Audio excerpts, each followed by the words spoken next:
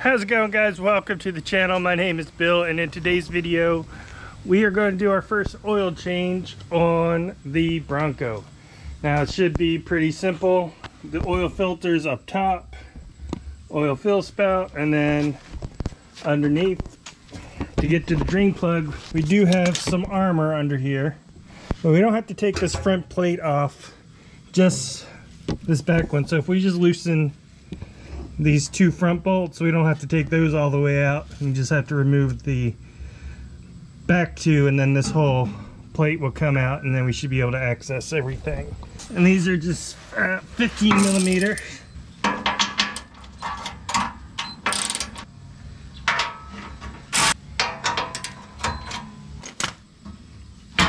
And then just slide that out. And so once that's out, got our composite oil pan here. Engine is hot. I, I, was just out driving around a little bit, got the engine up to temperature. Uh, so the oil should flow out fairly easily once I pull that plug. So let me get my uh, catch pan. Just grabbed channel locks. Let's see if that does the trick.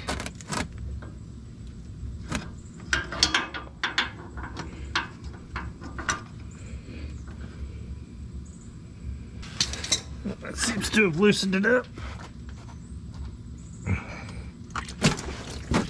And there she goes.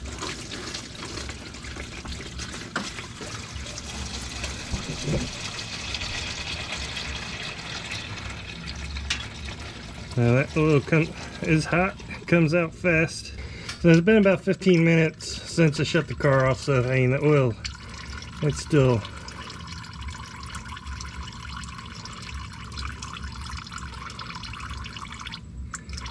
it's still pretty warm.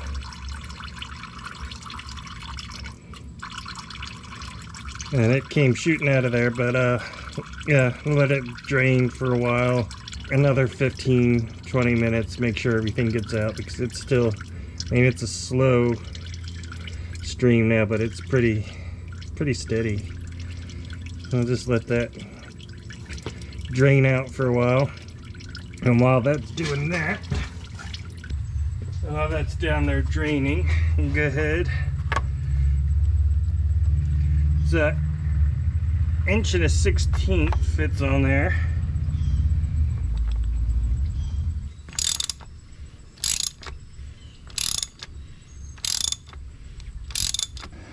Alright, so got this backed off and just letting that drain down. We still got a pretty steady small stream down there, so we'll just let everything kind of sit for a bit and uh, drain out for as long as it takes. It's uh, quarter after 11 now. So I'll let you guys know once that stops finally draining completely.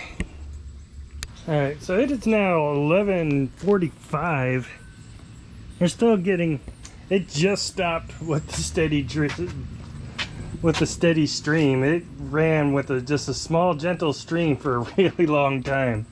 But um, I think we're good to go now. Now we got a new oil filter, Motorcraft. Uh, there's the part number if you want it. Now this is the one that is supposed to supersede the one that came from the factory.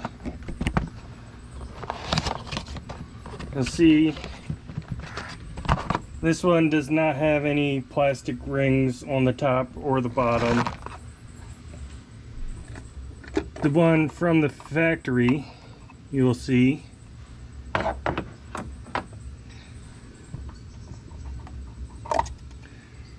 did have those plastic rings. Now, I don't know why they provided, I guess, I don't know if they just had a crap ton of them still lying around the factory and that's why they're using those, but um, it says that these are the newer ones that are supposed to replace that and this is what we're supposed to use. So, that's what we'll use. Just see right down in there. Set that in place. Now this should come with some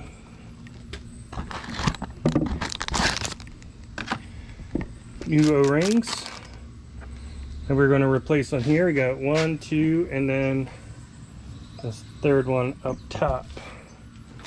So let's go. I just got a small pick tool.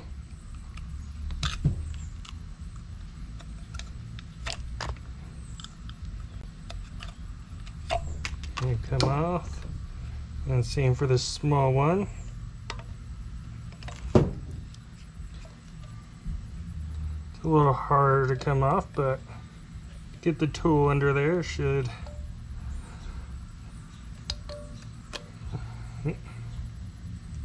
it should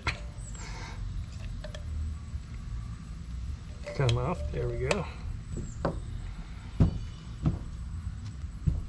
and these can just slide on.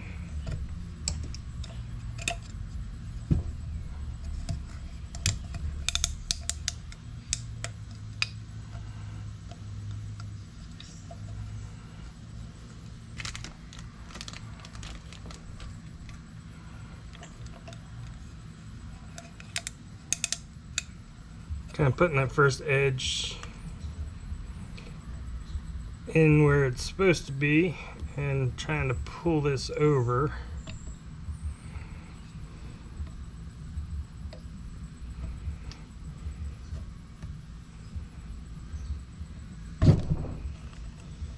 Which of course is easier said than done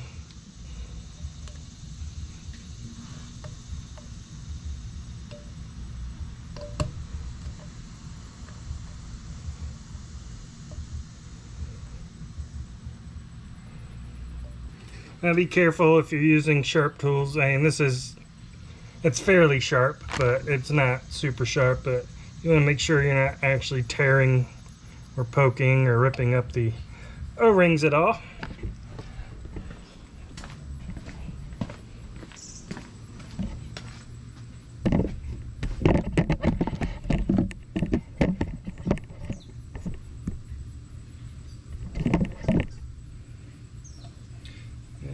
Gonna put a little oil on those o-rings.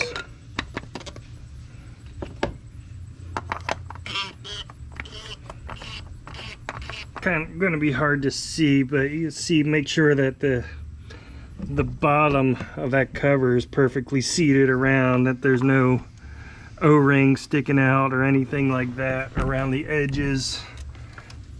That it all went in there. Uh, you should be able to feel if those O-rings start binding as you're putting it in there, you should feel it. Uh, that went in pretty smoothly. I didn't feel any resistance. Alright, so this should be 24 foot-pounds, which I mean, it's not, not much. That should be just pretty much snug. It's 24 foot-pounds, but just for the sake of being by the book, we'll do it. If you don't have a torque wrench, a just snug should do the trick. Um, yeah, let's go back down under. We'll put the drain plug back in there and then we can fill it up. Make sure drain plug's good. Our O-ring's good it should just twist on there.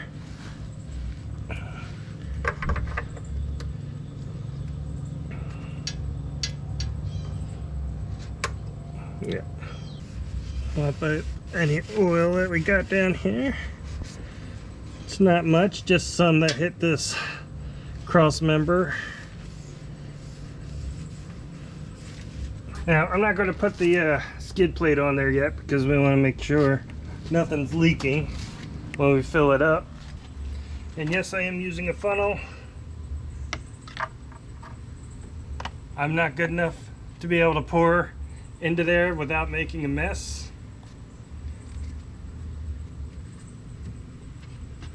So I will use a funnel. It's supposed to be 5W30 that we're putting in there. And the manual does call for full synthetic. Uh, I'm using this Valvoline.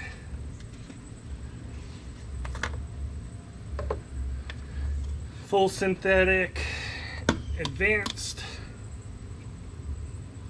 Yes I know somebody will say I shouldn't be using this. I should only be using Motorcraft but it's to the same standards and this will be perfectly fine.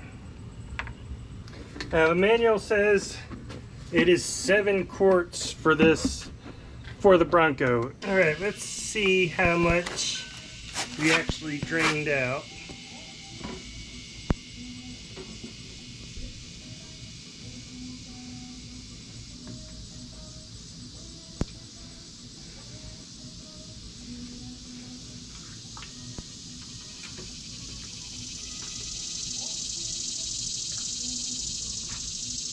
All right, so right there we're at five quarts. Right there, we're just about five quarts. So that was five quarts. Let's see what else we got left in here.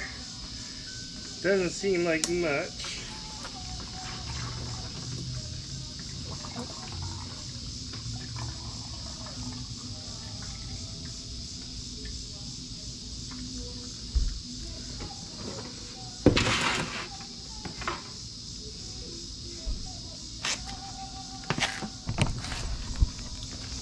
So, I don't know how well you could see that there, but we are just,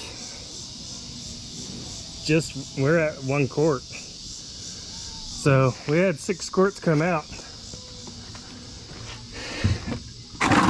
Filled that up to five quarts, dumped it out, filled it back, dumped the rest, and I mean, we're right at one more quart right there. So I, that was, let me stick this back on my pan.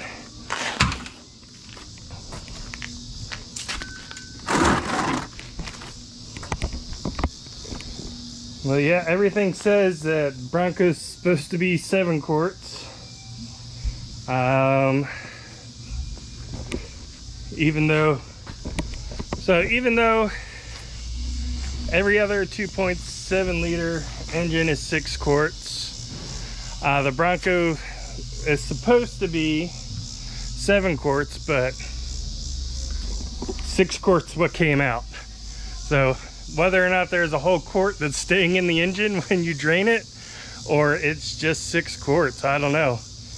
Uh, but I mean, there we go. Six quarts is what came out and six quarts what I put back in and it's at the correct level, so we'll go with six quarts. So it's had plenty of time for all the oil to drain back down to the oil pan. So let's see where we're sitting at now.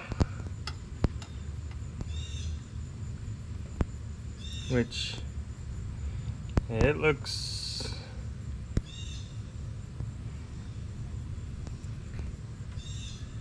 we look like we're good with just the six quarts.